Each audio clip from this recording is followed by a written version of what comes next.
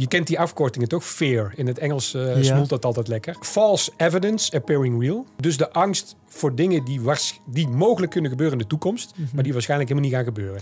Dat, staan, dat is de grootste angst van mensen. False expectations appearing real. Dat is eigenlijk hetzelfde. Maar jouw verwachtingspatroon bepaalt dat je bang bent. Maar als je het nieuws hoort, als je uitzoomt op of inzoomt op de angst, dan zie je alleen maar wat er mis mogelijk kan gaan. Dan heb je een vals verwachtingspatroon, want jij denkt dat dat ook gaat gebeuren, maar het gaat natuurlijk helemaal niet gebeuren. False evidence appearing real, false expectations appearing real. En dan komt die failure expected, dus ik verwacht te falen. Action is required, maar ik moet in de actiestand.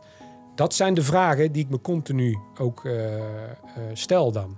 En wat als de expectation wel real is? Dus stel je voor bijvoorbeeld in zo'n eh, moment Nee. waar de politie... Ja, ja, Ja. Nee, ja, precies. Ik meteen in. Dus op het moment dat hier mensen binnenkomen in dit gebouw... en je hoort de AK-47's beneden in de lobby... tut, tut, tut, tut, tut. ja, ik schets het scenario, hè. Ja. Nou, weet je wel, daar beginnen mensen al. False expectations, ik ga dood. Dus in het moment, als je niet dood bent... zijn het nog steeds verwachtingen van wat er gaat gebeuren. Als jij in die verwachting blijft hangen, meer kans om dood te gaan. Hoe sneller je uit die verwachting komt, want je bent nog niet dood, ik moet iets gaan doen. Snap je? Zelfs in zo'n situatie kan je nog zo kijken. Ja, failure expecting, eh, expected, action is required. Dus je moet dingen gaan doen. En zolang je niet dood bent, kun je dingen doen. En dat gaat zo ver. Mensen in het Midden-Oosten of waar dan ook hebben op een AID gereden, weet je wel. Been eraf geblazen, zetten zelf een tourniquet aan Mhm. en kruipen een kilometer naar, de, naar een hulppost en leven nog. In een rolstoel zonder been, maar leven nog. Zelfs, zelfs toen was het een false expectation. Want ze, zijn er, ze hadden nog Bij leven. wijze van. Ja. Alleen je krijgt een andere reactie.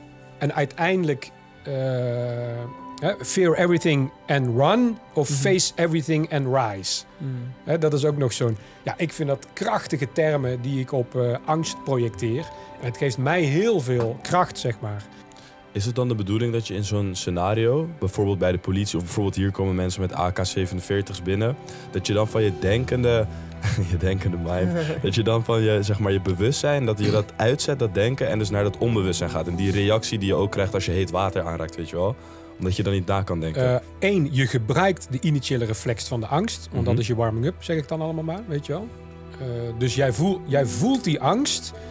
Je voelt, de shirt is nat, ik ben warm. Want als ik het hier zou horen, heb ik precies dezelfde reactie als jullie. Het is niet dat je die reactie weg wil hebben of wil... eh, dat is nog wel gezond? Of... dat is nog wel... Ja, Hulpzaam. zeker, want, want Ja. het redt mij toch. Het Ja. bekertje loslaten redt mij. Alleen wat doe ik daarna, is wat het verschil gaat maken.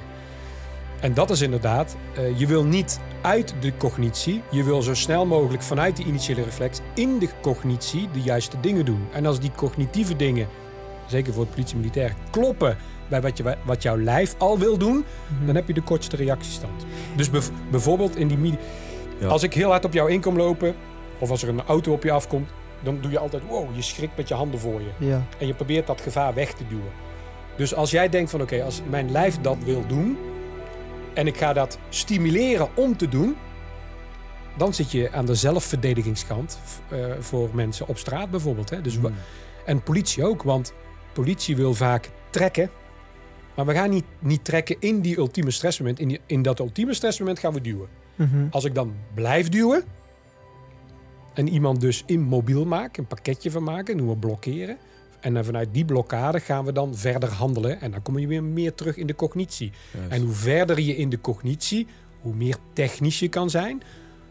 Maar hoe minder in de cognitie, hoe minder technisch je kan zijn. Dus alles wat je technisch aanleert, is op dat moment van die ambush. En dus ook in een normale crisis. Hè, van het moment dat jij schrikt.